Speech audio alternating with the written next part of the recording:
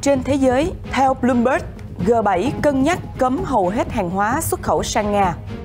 Ngoại trưởng Nga nói gần như không còn cách để giải quyết thỏa thuận ngũ cốc. Amazon ra mắt chương trình theo dõi và xác định hàng giả. Canada đầu tư hơn 9 tỷ đô la Mỹ vào nhà máy pin của Volkswagen.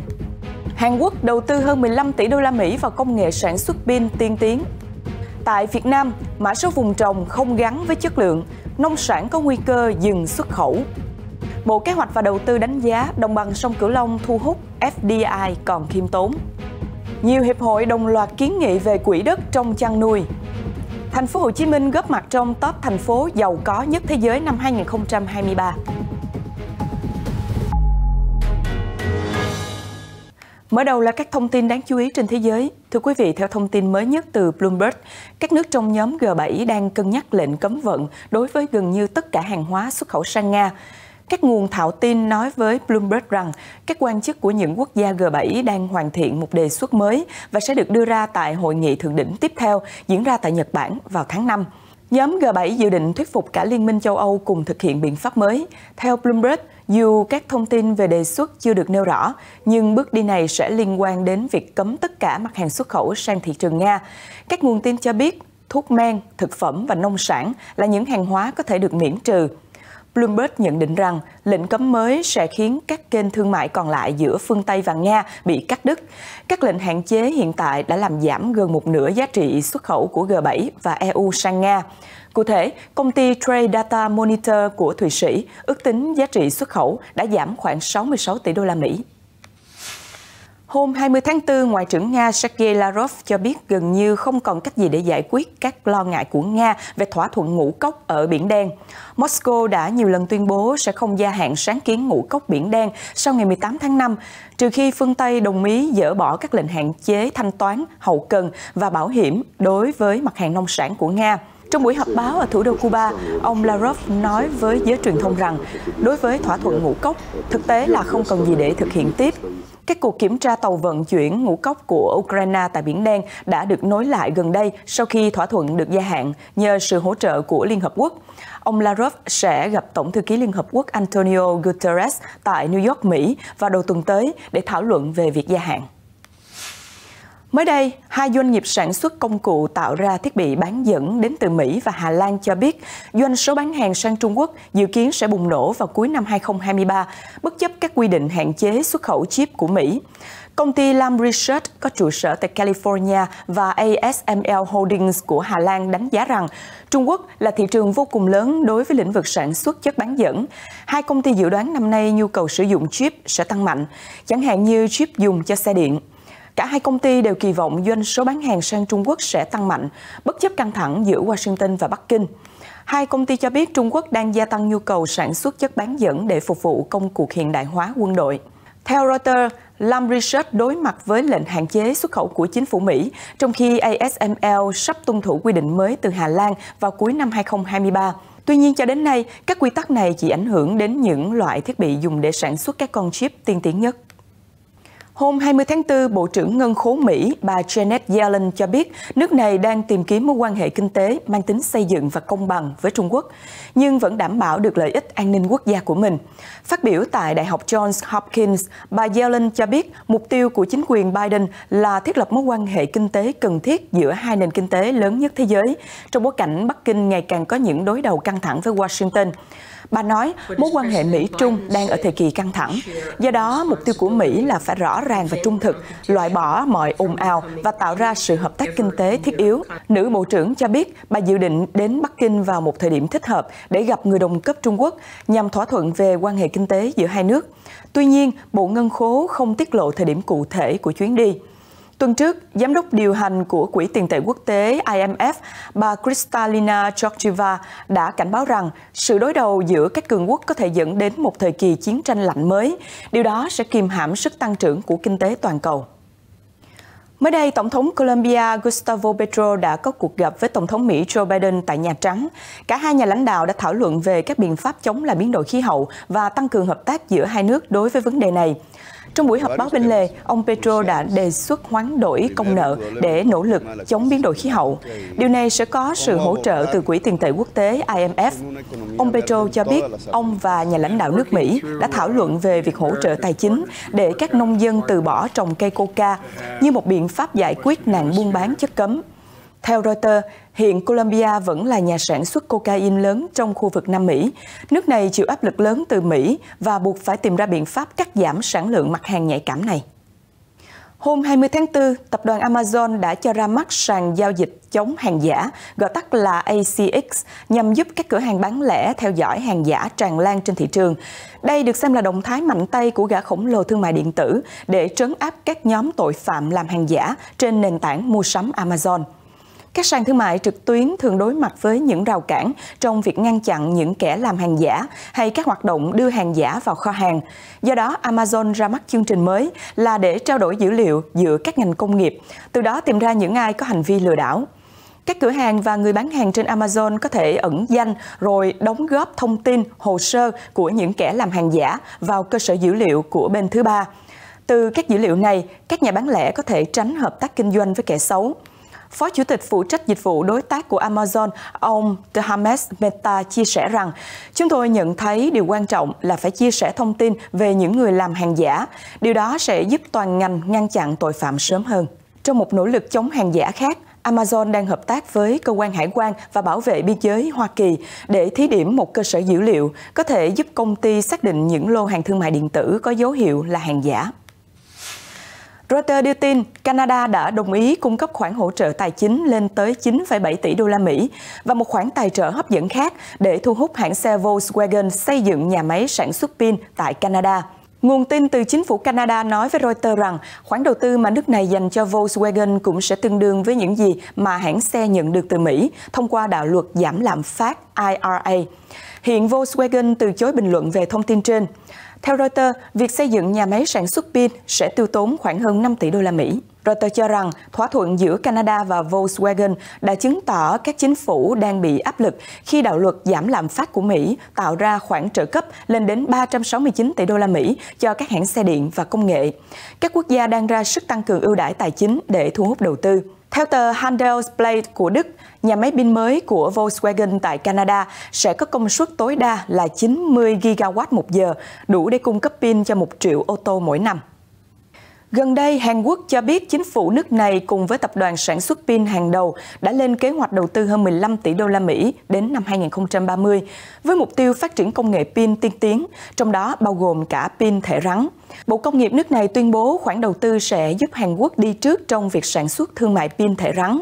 Hàn Quốc là quê hương của ba trong số 5 nhà sản xuất pin xe điện hàng đầu thế giới, bao gồm LG Energy Solution, Samsung SDI và SK On. Bộ ba tập đoàn này đã nắm giữ hơn một phần tư thị trường pin xe điện toàn cầu. Họ cung cấp dòng sản phẩm này cho nhiều hãng xe như Tesla, Volkswagen, General Motors và Ford. Theo Bộ Công nghiệp, LG, SK và Samsung sẽ xây dựng nhà máy sản xuất thí điểm ngay tại Hàn Quốc, nơi được kỳ vọng sẽ là trung tâm đổi mới sản phẩm của ngành sản xuất pin.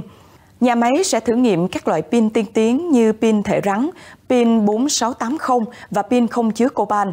Sau đó, các sản phẩm này mới được sản xuất hàng loạt tại các cơ sở nước ngoài. Kế hoạch này được đưa ra sau khi chính phủ Hàn Quốc công bố hỗ trợ tài chính cho các nhà sản xuất pin trong nước khi họ đang đầu tư vào cơ sở hạ tầng ở Bắc Mỹ nhằm đối phó với đạo luật giảm lạm phát của Hoa Kỳ. Reuters cho hay ngành công nghiệp hàng xa xỉ của châu Âu đang bị giám sát sau khi các cơ quan quản lý chống độc quyền của Liên minh châu Âu kiểm tra trụ sở chính của Gucci tại Milan, Ý. Đây là một phần trong cuộc điều tra các thương hiệu thời trang cao cấp. Theo Ủy ban châu Âu, các cơ quan quản lý chống độc quyền đã bất ngờ kiểm tra trụ sở của các công ty trong lĩnh vực thời trang tại nhiều quốc gia EU. Tuy nhiên, tên của các công ty không được công bố. Trước đó, Reuters đưa tin về việc trụ sở của hãng Gucci tại Milan bị điều tra. Một nguồn tin thân cận cho biết việc kiểm tra là nhằm xem xét liệu Gucci có vi phạm Điều 101 của Liên minh châu Âu. Theo điều khoản này, EU nghiêm cấm các thỏa thuận hạn chế hoặc bóp méo cạnh tranh trên thị trường, làm ảnh hưởng đến hoạt động thương mại giữa các quốc gia thành viên.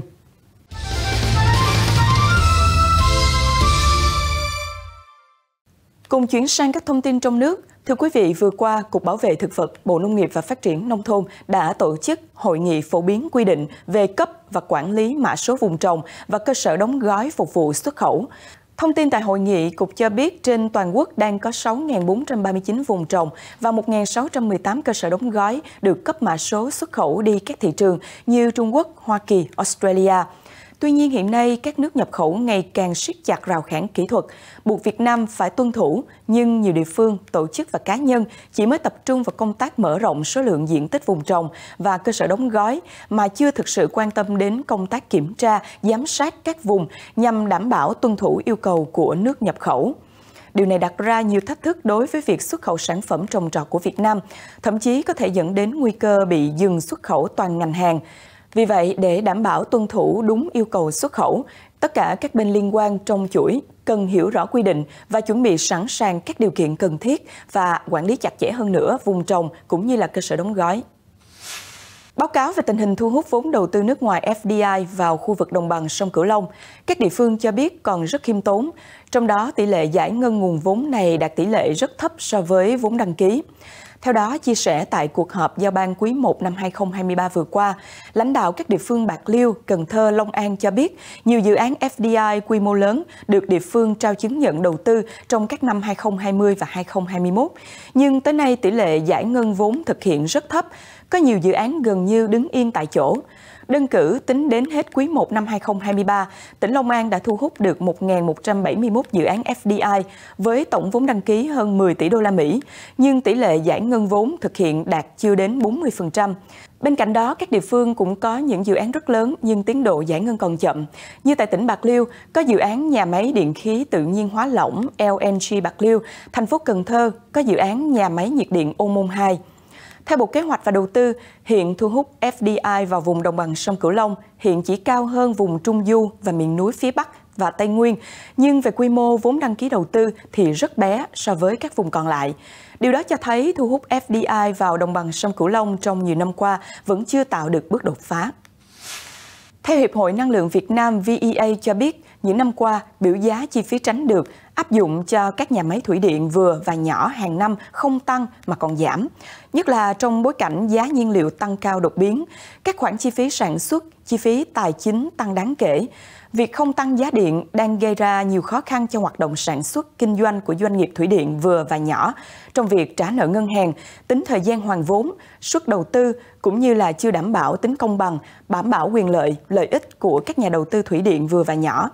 Trước những khó khăn đó, mới đây VEA đã kiến nghị chính phủ, Bộ Công Thương, Cục Điều tiết Điện lực và EVN xem xét chấp thuận việc tăng giá mua bán điện năm 2023 cho các nhà máy thủy điện vừa và nhỏ theo đúng quy định về biểu giá chi phí tránh được nhằm đảm bảo ổn định, nhất quán trong áp dụng pháp luật và chính sách đầu tư của nhà nước đã được ban hành. Tiếp theo là một cảnh báo đáng chú ý liên quan đến đầu tư trái phiếu doanh nghiệp. Thưa quý vị, mới đây Bộ Tài chính đã tiếp tục đưa ra cảnh báo các nhà đầu tư mua trái phiếu doanh nghiệp cần có hiểu biết đầy đủ về quy định của pháp luật, tìm hiểu đầy đủ thông tin cũng như mức độ rủi ro khi quyết định đầu tư trái phiếu doanh nghiệp. Theo Bộ Tài chính, bên cạnh tác động tích cực giúp doanh nghiệp huy động vốn cho sản xuất, kinh doanh, thị trường trái phiếu doanh nghiệp riêng lẻ tiềm ẩn rủi ro, nhất là doanh nghiệp bất động sản, phát hành trái phiếu với lãi suất cao, chất lượng tài sản bảo đảm của trái phiếu hạn chế, trong khi ghi nhận thực tế hiện nay, các nhà đầu tư cá nhân tham gia thị trường trái phiếu doanh nghiệp ngày càng nhiều. Bộ Tài chính cũng lưu ý các nhà đầu tư rằng rủi ro của trái phiếu là rủi ro gắn với doanh nghiệp phát hành trái phiếu, chứ không phải là rủi ro liên quan đến tổ chức phân phối trái phiếu. Trong đó có các ngân hàng thương mại phân phối trái phiếu. Mới đây, Hiệp hội chăn nuôi Việt Nam, Hiệp hội chăn nuôi gia cầm Việt Nam và Hiệp hội chăn nuôi gia súc lớn Việt Nam vừa đồng loạt ký vào văn bản gửi Bộ Tài nguyên Môi trường kiến nghị xem xét bổ sung danh mục đất cho chăn nuôi vào dự thảo luật đất đai sửa đổi. Lý do của kiến nghị này, theo đại diện ba hiệp hội, hiện nay giá trị sản xuất ngành chăn nuôi đang chiếm khoảng 24% trong toàn bộ khu vực nông lâm nghiệp và thủy sản, trong khi lại không có quỹ đất rõ ràng dành cho chăn nuôi. Ngoài ra, đại diện ba hiệp hội cho biết quỹ đất cho nhu cầu di dời các cơ sở chăn nuôi ra khỏi vùng không được phép chăn nuôi, hạn cuối cùng phải thực thi là ngày 1 tháng 1 năm 2025 là rất lớn. Đây đang được xem là cuộc đại di dời trong sản xuất nông nghiệp. Do vậy, cần kiến nghị làm rõ đất cho chăn nuôi tập trung để các địa phương áp dụng trong quy hoạch. Nếu không có quy định rõ ràng, thì trên thực tế các địa phương và ngành chăn nuôi sẽ không thể xử lý được những bất cập về đất đai, mặt bằng cho nhu cầu xây dựng chuồng trại, mở rộng sản xuất và hoàn thành việc di dời theo quy định. Chuyển sang thông tin về thị trường hồ tiêu. Thưa quý vị, những ngày qua, giá hồ tiêu trong nước liên tục tăng. Ghi nhận trong ngày hôm nay 21 tháng 4, giá tiêu đồng loạt tăng 500 đồng một ký tại các vùng trọng điểm, dao động quanh mức 64.000 đến 67.000 đồng một ký. Trong đó, tại tỉnh Bà Rịa Vũng Tàu, giá tiêu được thu mua ở mức cao nhất là 67.000 đồng một ký, tăng 500.000 đồng. Tương tự, tại Bình Phước và Đồng Nai duy trì ở mức 66.000 đồng một ký. Trong khi đó, tại các tỉnh Tây Nguyên như Đắk Lắk, Đắk Nông, giá tiêu hôm nay được thu mua với mức là 65.000 đồng một ký. Theo đánh giá của các doanh nghiệp, thị trường đang có biến động sau thời gian dài trầm lắng, nhu cầu mua tăng trong khi nông dân giữ hàng đã đẩy thị trường tăng nhẹ. Theo báo cáo, thành phố giàu có nhất thế giới năm 2023 vừa được Henley and Partners và New World Wealth công bố, thành phố Hồ Chí Minh của Việt Nam đã góp mặt trong danh sách này. Cụ thể, thành phố Hồ Chí Minh đứng thứ 67 trên 97 thành phố giàu có nhất thế giới, đang có 7.700 người có tài sản trên 1 triệu đô la Mỹ, 15 người có tài sản từ 100 triệu đô la Mỹ và 3 tỷ phú đô la Mỹ. Đáng chú ý, giai đoạn năm 2012 đến 2022, số lượng triệu phú của thành phố Hồ Chí Minh tăng 82%, tốc độ nhanh thứ 9 trong 97 thành phố mà báo cáo thống kê. Báo cáo nhận xét, thành phố Hồ Chí Minh đang nổi lên như một điểm nóng triệu phú lớn tiếp theo của châu Á. Các lĩnh vực đang mở rộng nhanh chóng bao gồm dịch vụ tài chính, dệt may, công nghệ, điện tử, viễn thông, hóa chất và du lịch. Ngoài ra, theo báo cáo, thành phố New York, Mỹ dẫn đầu top 10 thành phố giàu nhất thế giới. Trong khi đó, châu Âu chỉ có một thành phố duy nhất là London của nước Anh vào top 10. Những thông tin vừa rồi cũng đã kết thúc tạp chí Today Live ngày hôm nay của chúng tôi. Cảm ơn sự quan tâm theo dõi của quý vị. Xin chào tạm biệt và hẹn gặp lại trong những chương trình lần sau.